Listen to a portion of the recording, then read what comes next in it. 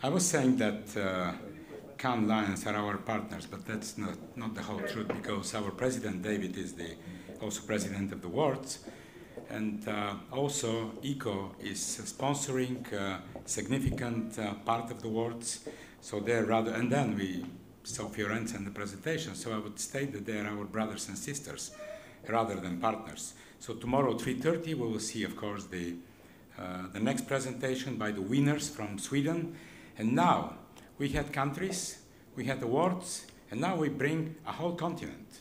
So I would like to introduce Jean-Leopold Schuybroek, uh, the past ICCO president, who will moderate one of the most interesting sessions, the Africa continent session.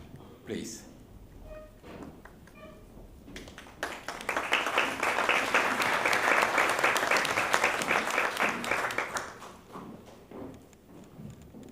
Good morning. Welcome to the last session of this morning. Um, this session is about Africa, as Maxim said, and actually it's the first time that this topic in Africa is going to be covered um, at an ICCO conference. Is Africa the last frontier of the PR industry? Is a topic we're going to debate uh, this morning. But before we get into the debate and before I present the the panelists, I just want to share with you a few facts about Africa, just to set the scene. Africa is vast, as you know. Um, it's made of 54 countries with a population of 1.2 uh, billion uh, people. Um, interestingly, it is by far the youngest continent in the, in the world. The average age is 20 years, whereas, for instance, in Europe it's uh, 42.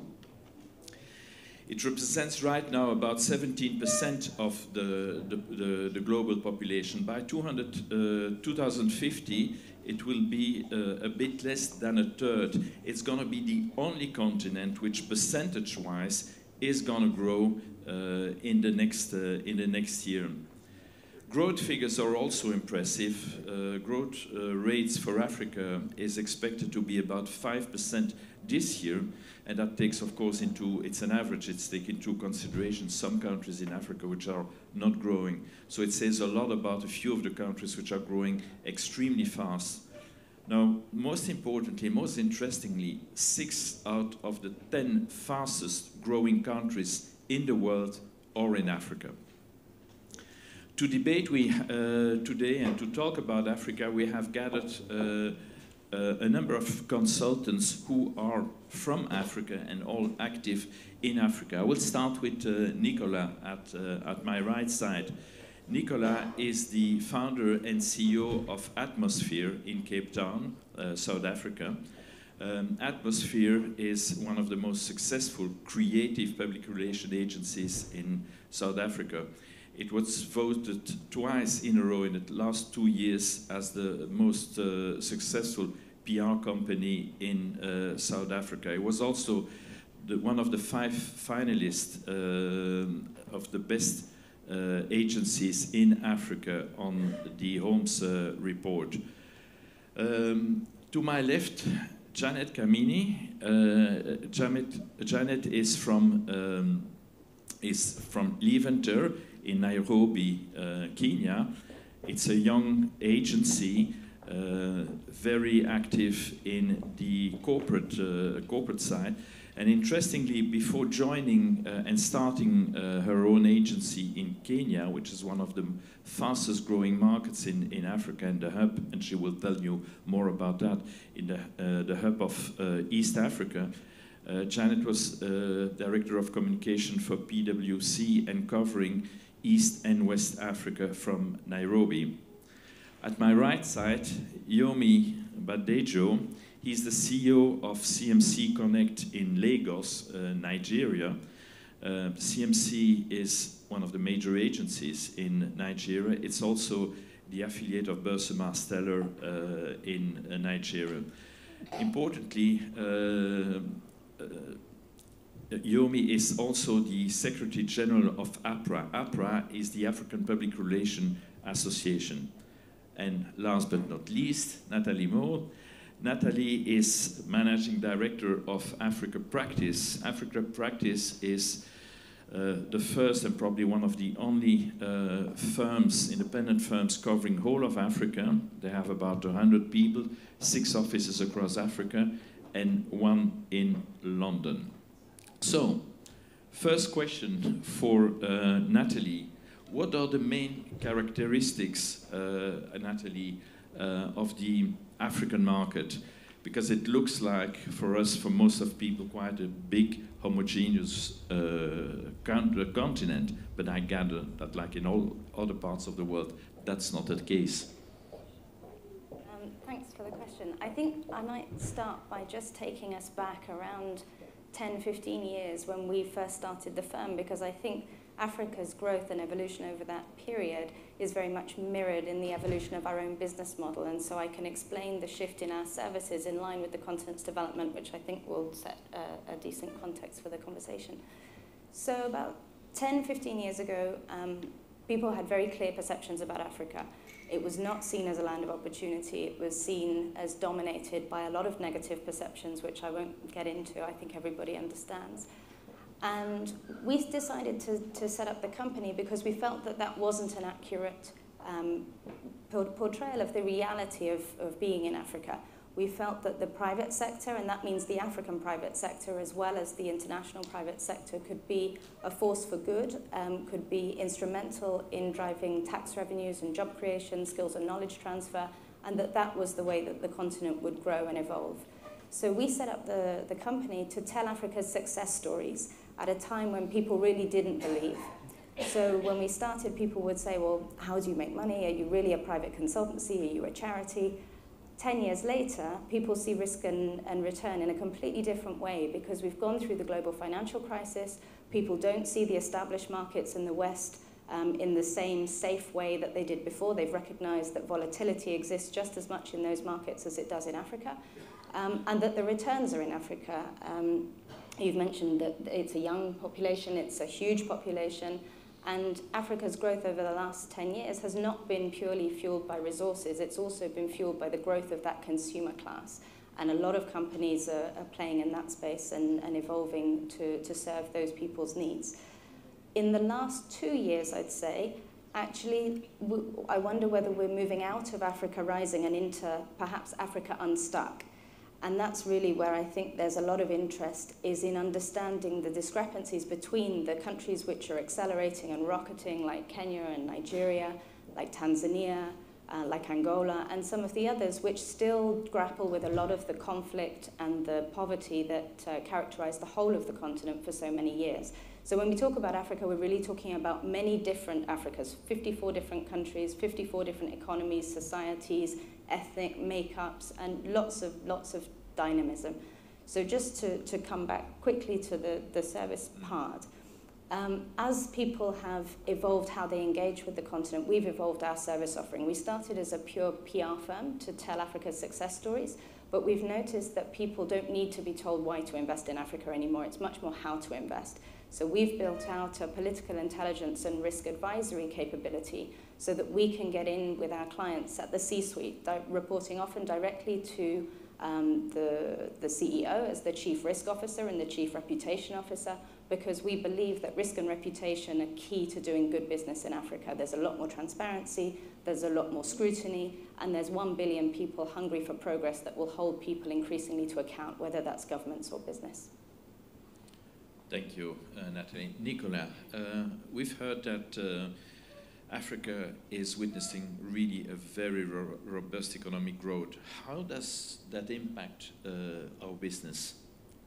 Um, I can only speak on behalf of South Africa, and yeah. I, I, keep on saying to my clients, remember, um, Africa is a continent, not a country. But South Africa is the second um, largest economy in South Africa, and we represent about 24% of the continent's GDP and it's a very well-established economy. So a lot of multinationals have used South Africa as a springboard into the rest of the continent. Good banking and financial infrastructure, good telecoms, and in fact, over the last year, we've seen a lot of global communication groups sniffing around in South Africa and buying up PR, digital, and social media companies, um, getting multiples up to 8.5 uh, price earnings multiple. So there's a keen interest in using South Africa as a base into sub-Saharan Africa. Which are the markets uh, which are growing the fastest? And I think it's a question for, for all of you. And I understand uh, Kenya is one of the markets which has been very successful in the, in the last years, and sort of everybody's flocking to Nairobi. Absolutely. Um, Kenya is one of the fastest growing markets in East Africa, uh, and indeed in Africa. I think it's one of the four fastest growing markets South Africa, Nigeria, Egypt, and then Kenya. And this is driven by a couple of factors. One, I think it's the people. Uh, very innovative people, highly educated, very high literacy levels. I think one of the highest in Africa. Probably 70% of the people are conversant in English and have basic uh, education. And then also the geographic positioning. It's a gateway into East Africa and indeed most of Africa. It's sort of central between South and North Africa and very close to Europe uh, with also advanced infrastructure. Um, we have good railways, good airlines, good roads that access most of uh, East Africa, and, and of course telecommunication development. We have by far, I think, one of the highest uh, penetration rates of telecommunications, which has leapfrogged uh, Africa much more than many parts of the world. So most people today, one in every two Kenyans has access to a mobile phone. And it's this is before they even have access to power or to health services. So you can imagine, and with data, everybody's on internet and they don't even have lights in their houses. So this just opens up a whole new industry of people. And I think uh, this has driven the, and again, what's happening in the region is the discovery of natural resources. There's oil in Kenya, oil in Uganda, coal, mining, gas in Tanzania. This has just made it very attractive. And of course, lastly, I think the government of the day. Kenya was one of the first countries in Africa to, um, to go democratic in our government. And so now this has made it very liberal. So we have freedom of press. Um, this just makes our industry so much more open, so much more competitive. We have a pretty advanced capital markets.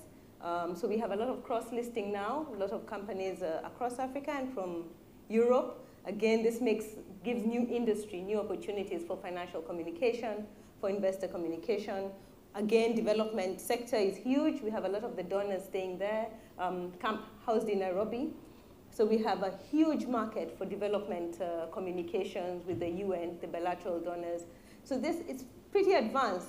But even though we're looking at Nairobi or Kenya with this, we look at East Africa, just going crossing border to South Sudan or to Uganda or Tanzania, this, the case begins to change. The markets may not be as open, uh, yet you're looking at the regional. You, not, you may not have an advanced capital market, so you cannot advance or provide the same services within the same region, even though you're housed in Nairobi. We've talked about uh, the, the, major hubs, and maybe you have a, a, helicopter view because you cover all of Africa. Um, are there other interesting markets? I understand you've been active in Somalia, for all places. Yeah, I, I don't think many people would um, expect me to say that we have the third biggest team on the continent in uh, Mogadishu. So Lagos and Nairobi are our biggest hubs, but we've recently taken on a really interesting mandate um, to support the African Union and the United Nations in Somalia. And I, I think it, it also touches on one of the points that I think is interesting about Africa is that the pace of, of leapfrogging, whether it's technology, whether it's be best practice, Africans are hungry and not because in the way that you'd think. It's really thirst for, for the cutting edge, thirst for the best in class. Um, and it means that we're able to leapfrog our services right to, to really innovative things. So we're doing some work on information operations, countering terrorist narratives, and starting to build support for the stabilization process. So it's pretty sophisticated.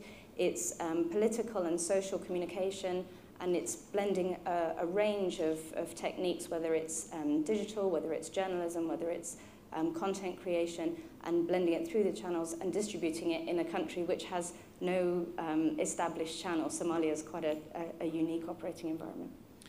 When we talk about Africa, and this is the case here, we always and mostly talk about sub-Saharan Africa, but we should not forget about Northern Africa. We just heard about Egypt, which is growing. There is another economy which is also growing quite quite strongly, and which is a point of entry specifically for European uh, companies uh, into into Africa, and that's Morocco. Um, and we have uh, here Kamal Taibi of Strateus, in, uh, who is active in based in Morocco. So. uh, we should not forget the importance also of so, some of the northern African uh, countries who are bridging, I would say, a bit the gap between Europe and, and Africa. Now, uh, Yomi, what are the main challenges you see in, uh, in Africa and impacting uh, your, your business? Um, thank you very much, Joe. The first one will be the image of Africa. Uh, a lot of us have stereotypes about Africa. Uh, what we see on media, especially the Western media, about strife, about um, all kinds of challenges. Yes, we do have those challenges, but Africa is the fastest growing continent on this world, uh, and there are a lot of opportunities there. Uh, and I think uh, it's been mentioned earlier that Africa is not homogeneous, it's not one. So once we're able to get past the image of Africa, you see that there's a lot of opportunity that exists there. Um, two, some of the problems that have been mentioned here is talent and capacity. Um, if you have that kind of challenge in Europe, you have it in America, you can imagine what probably happens in Africa. Uh, basically, what has been traditionally, we have institutions that teach communication, uh, including public relations. For instance, Nigeria, where I come from, have, we have the Nigerian Institute of Public Relations, or at the continental level, the African Public Relations Association, which I represent, um, we find that a lot of the talents that are being developed, uh, when they are nurtured up to a certain extent, the other people come, uh, people from the client side come and snatch away the talent. So since we're talking to consultants here, uh, a lot of those talents which you nurture, you pick them up, uh, and then when you're about to start reaping from your work, the client comes in uh, and then snaps up that uh, person. Third will be the poor value appreciation of the work we do. And this is also tied into the fact that um, our measurement and evaluation is not exact. So we cannot exactly say what we bring to the table. So generally, when there's going to be a reduction in uh, uh, uh, budget, uh, they turn to us first. We are the ones that our budget cost cut by half, cut by quarter, cut by 75%, and so on. Uh, in our business, a lot of times we find out that um, somebody like a multinational sends a budget to Nigeria and says, um, "Oh, guess what? We've, you know, we've carved it up and we've given you three thousand dollars. Go and work with three thousand dollars for uh, six months." And we ask ourselves, "What can we possibly do with six thousand, three thousand dollars?" Um, it's also the ability, inability for us to rethink our business. And I've seen that uh, in the room here. Uh, we need to rethink public relations. The very first presentation we had today by Fred said a lot about that. Uh, and I think subsequent presentations have also followed in that line. So we've not been able to also uh, do that. Then finally, I'll talk about infrastructural development. Uh, Africa is still lacking behind in that regard. Uh, we talk about internet penetration. We talk about ability to move from one region to another, from one country to another, from Nigeria to Kenya to South Africa. Is still a bit uh, uh, hampered, or it's a lot hampered. And all those things are having impact on our business in Africa. And what about political risks? Well, I should mention that. Uh, definitely, as you probably all know, uh, being the youngest continent, uh, democracy uh, is younger in Africa than in most other parts of the world. Um, so, in that regard, we do have challenges. Um, uh, this has been this has been addressed both at the, especially at the African Union level, uh, so that we don't have infrequent change or frequent change in government. Uh, but what we do have is inconsistency sometimes in policy and regulation, which affects, uh, take for instance, um, in, in, my country, for instance, there's a new regulation about foreign exchange, and we're discussing a bit of that uh, over drinks last night. Um, so before, you could put money on a card and you could come here. Uh, I had that challenge coming in here because my, my country comes up to say we need to tighten things up. So you can put money on cards or something like that. Uh, and then, so do you have to travel with cash? Uh, can you use your card? So there, there are challenges in terms of policy consistency. But over and above all, uh, there's still the opportunities are a lot more than the challenges. On, on on the political risk, um, we get a lot of queries from um, international PR professionals who want to come work in South Africa, mainly because the weather is glorious. Um, but what we find is that our government has released a Black Economic Empowerment Charter. So we get a point system on whether um, how many black people we employ from previously disadvantaged um, communities. We can't pitch for any government or big multinational work if we don't score above a certain level, if you don't have a level one or two, and you actually get penalized for, for employing white people. So it's very difficult for the PR industry where we're trying to retain black talent because they go to our clients, but also to get um, uh, senior talent from the outside trying to upskill what's happening in our industry. So a lot of constraints in doing good creative work um, because it's hard to hold on to quality people. Sure. I just wanted to add that there's also opportunity in the political risk side. So we built out the political risk advisory and intelligence part of our business by understanding that that complexity, that volatility, the unpredictability, actually a lot of people need to grapple with it. It's not just a challenge for our business, it's a challenge for everybody. And so we've oriented our business model to be able to advise on how to navigate those risks and we've built out uh, a public affairs capability, which we can inform by deeper intelligence so that we can make sure that we understand the drivers behind what can seem like quite arbitrary and quite strange changes at short notice, but there's usually a logic. You just have to decode it to understand what's really behind the, um, the decision. Thank you. Janet, uh, what is the main PR offering in, in Africa? How does it look like? What, what kind of services are your clients looking for? And do you see an evolution in, in that? Thank you. Um, let me look at it from the context of East Africa. Yeah. Um, PR services, I think, are evolving. Um, there's room for all the services. You do have, and this is based on how advanced the country is, uh, based on the government for one, how open and liberal their policies and systems are. If you have freedom of press, then you will have uh, pretty high needs of sophisticated and specialization in PR. Um, also look at the industry because we're also liberalizing a lot of the sectors. So like telecoms has a couple of players. So there'll be intense competition there. There's intense need for education for customers and clients. So that brings a whole new uh, opportunity for PR to educate the clients, to change perception, to change behavior. Uh, again, there are other sectors like when you look at um, energy. Energy is new and it's growing. There's a lot of opportunity for public policy, for lobbying, for government relations, uh, because it's a sector that's evolving and it's unknown. So I think there are huge opportunities in terms of what services there is. You still have the, what's happening also in our stock markets is the young sort of mid-sized companies are beginning to be to get, raise money publicly on the stock exchange, so they're just coming into listing. And this now changes the scope and the need of their services. Reputation becomes important, sustainability becomes important. So suddenly new opportunities and new markets are being opened just by this policy change, so they can now become more public and raise money. So I think there's a whole raft of uh, need for services. Again, it's looking at horses for courses, uh, different markets. If you just cross the border, to Rwanda or Burundi, uh, they still have very controlled media, maybe one main media in-house. So the need for the services is a lot more toned down yeah. than you'd have uh, in a bigger market. Yeah. Another question for you, because I know your background is also in, in technology. Is technological change reshaping communication in Africa?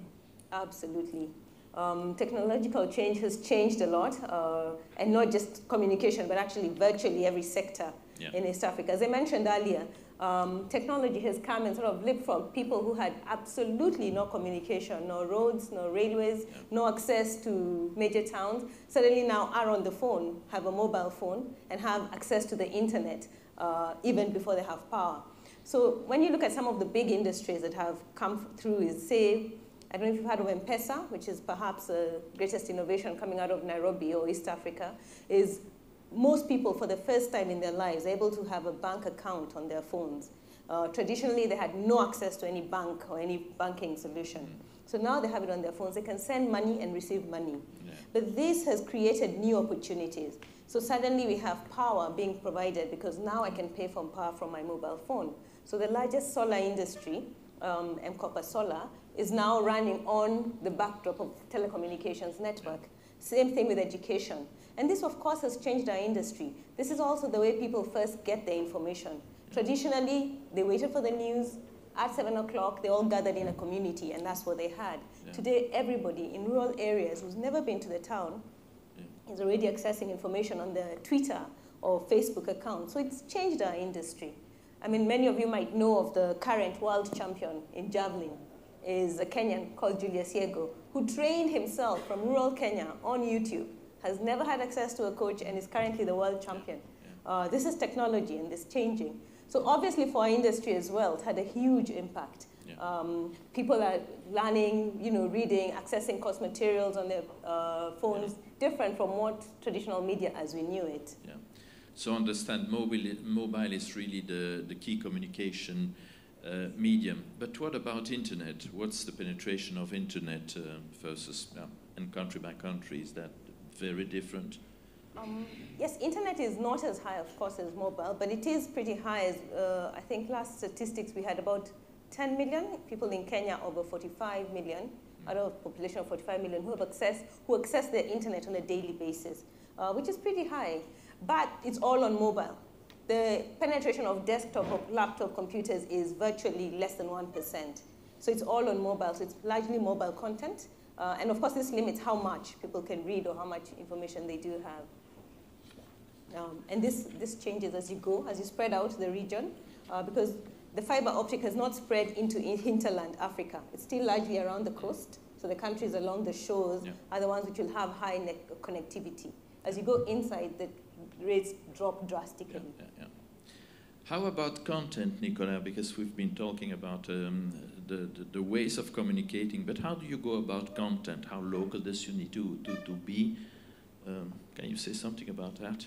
So just once again, back to South Africa, we've got 11 official languages, although everyone speaks English. Um, we recently launched Burger King in South Africa. They've been in the market for two years. And we, we had a look at their global messaging and what they do in other countries. But even the two main cities in South Africa, Cape Town and Johannesburg, we followed a completely different approach. Um, the market thinks differently, they act differently. Cape Town is very hipster, influencer driven where Johannesburg has got a hip hop culture, and we have to tap into the insights and adapt our content accordingly.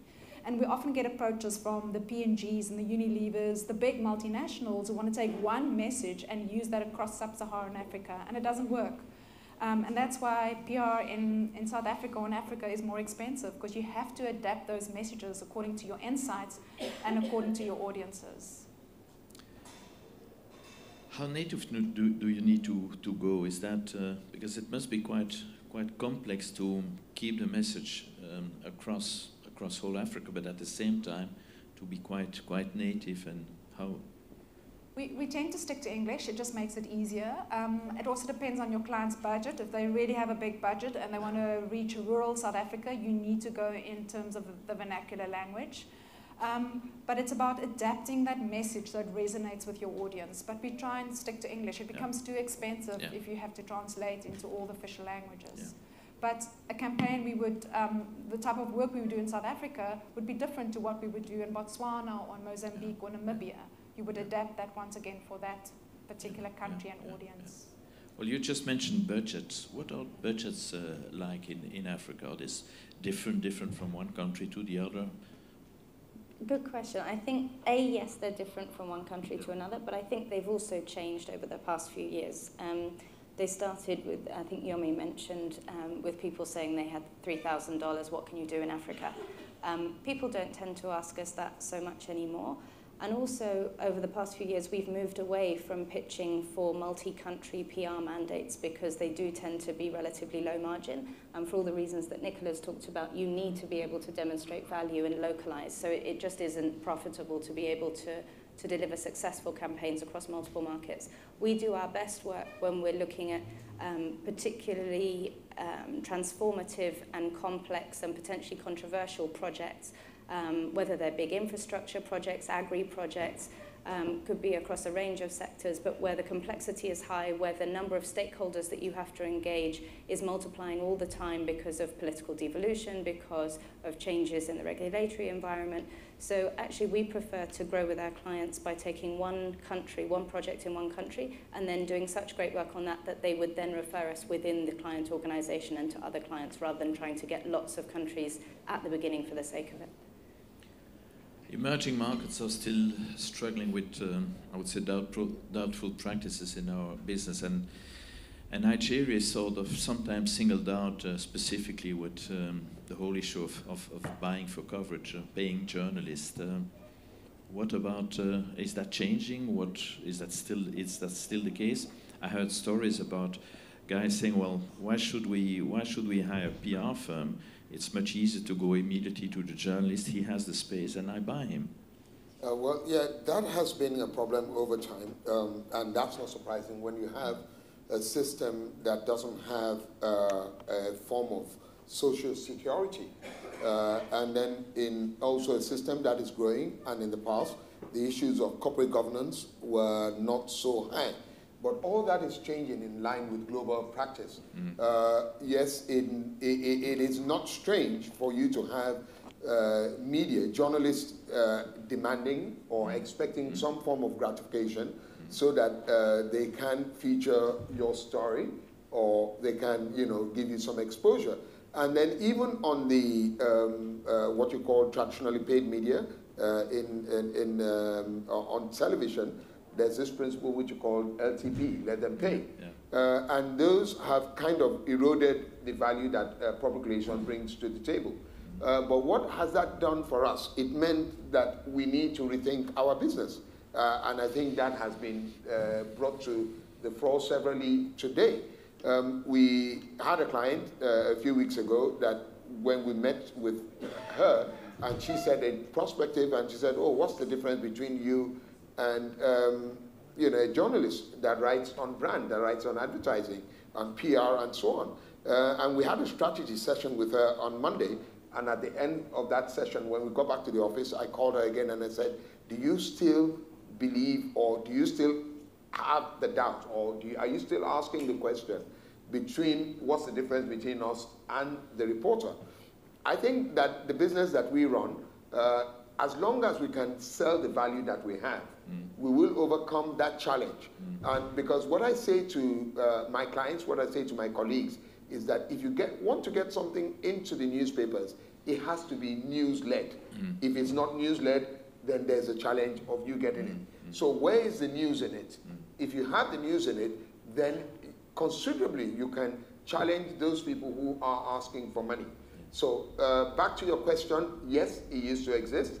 Yes, there's still quite a bit of that, but in terms of technology, in terms of the value that we're bringing to the table, that is being considerably reduced.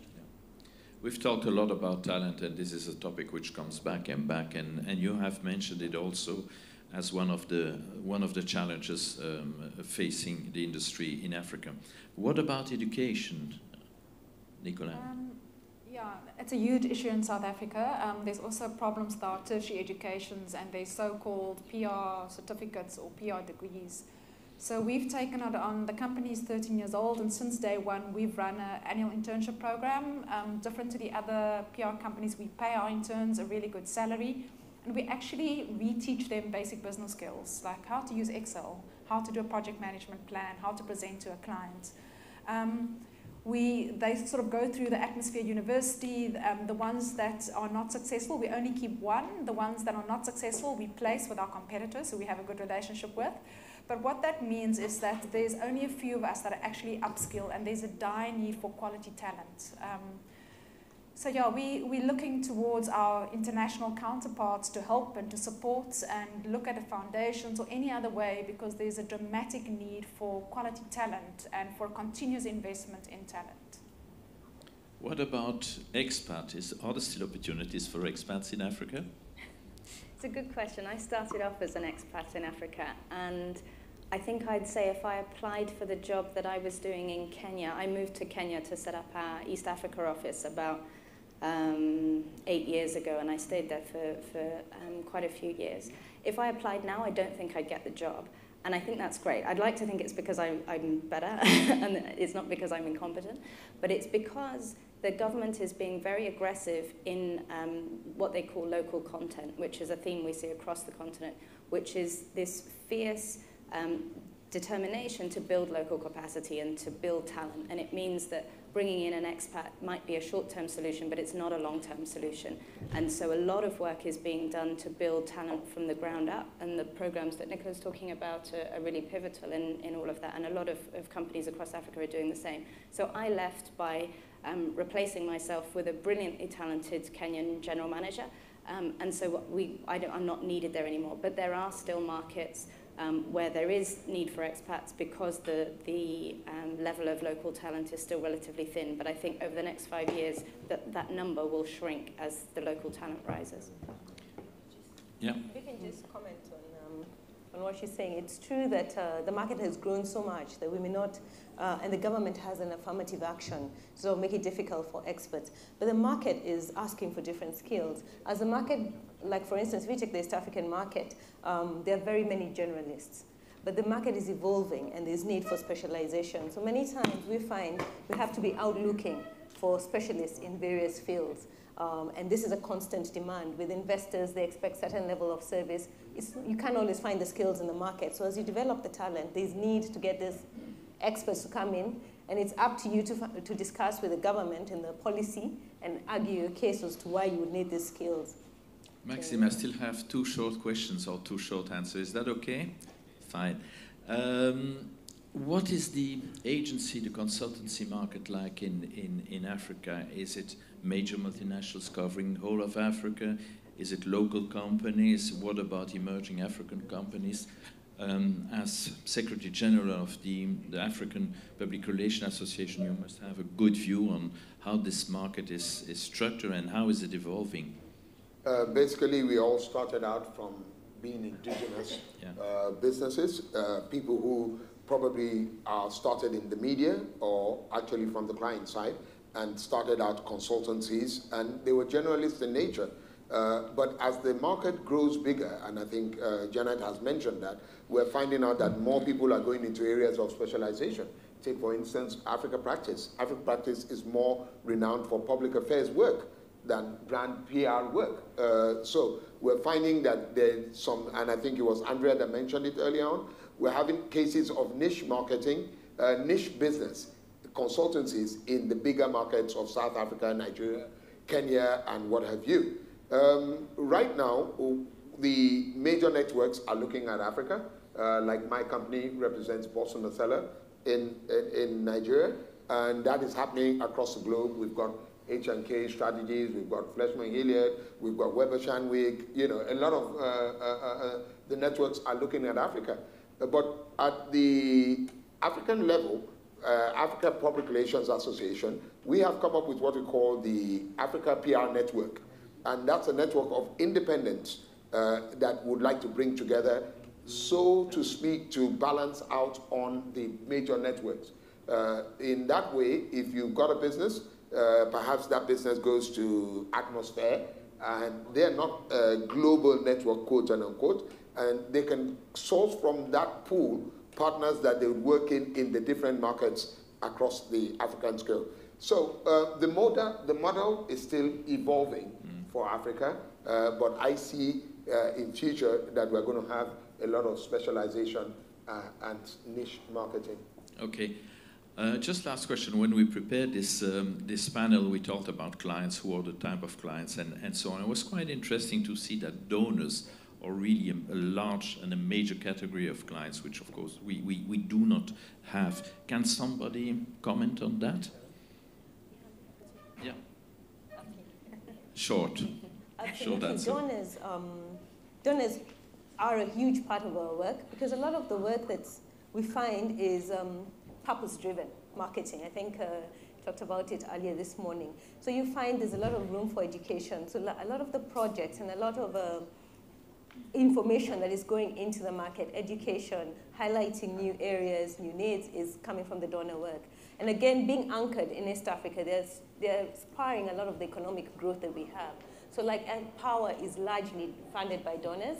Um, education is still funded by donors, and new areas of education. So you do find they probably contribute about 30% of uh, the media spend in general. Okay, thank you so much, Janet. We're going to stop here. Uh, I would like to thank the panelists to do this panel in 30 minutes instead of 45. Uh, but I had Maxim looking at me, so we're finishing here. Thank you for your attention, and um, those the, the, panelists will be here for the two days. So if you have questions, don't hesitate to, to, to ask them, including to Kamal as far as Morocco is concerned. Thank you so much.